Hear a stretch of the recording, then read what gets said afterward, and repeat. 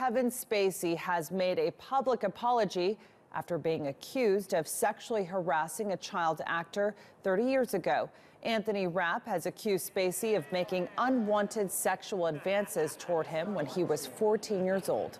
Spacey has apologized in a tweet. He says he didn't recall the incident, but still offered the sincerest apology. But his statement has spurred a significant backlash when he also used the opportunity to confirm that he is gay. Commentators were outraged that he chose to do so while addressing abuse claims. His hit show, House of Cards, has been canceled.